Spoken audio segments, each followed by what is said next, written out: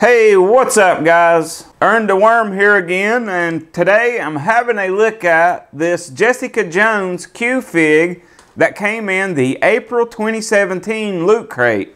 It does not actually say Loot Crate exclusive anywhere on it, so you probably can find this in retail stores somewhere. There's a picture of the Q-Fig on the back, cool Jessica Jones symbol on the side. And this is Jessica Jones as you see her on the Netflix TV show. I thought it was really cool to get this in the Loot Crate because I just finally finished up the Jessica Jones series on Netflix and I really enjoyed it. So I will get this Q-Fig out of the packaging so we can have a closer look at it. So there is our Jessica Jones Q-Fig out of packaging and I hate to say it but I like these little Q-Figs better than Funko Pops or Mystery Minis even. And I absolutely love my Mystery Minis. But I really like their character designs and just the little scenes they create on these. It looks awesome. It's Jessica Jones kicking over that brick wall. It's got her leather jacket, her boots on, got a pipe coming up out of the ground. Even some nice details on the ground with some rubble.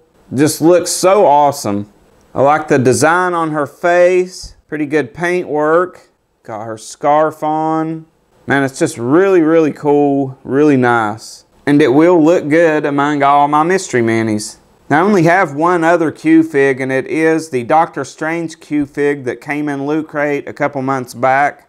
So that's my look at the Jessica Jones Q-Fig. This was from the April 2017 Investigate Loot Crate. But like I said, it doesn't say Loot Crate exclusive on it, so if you wanted to find one, I'm sure you could find it for sale somewhere out there. At least on eBay from people who got the Loot Crate and didn't want it. But if you were a fan of the Jessica Jones season on Netflix, I say get it. It is super cool, nicely detailed, a nice little scene they set up. Very cool, I really recommend it. But that is all I have for this video. Hope you guys enjoyed it.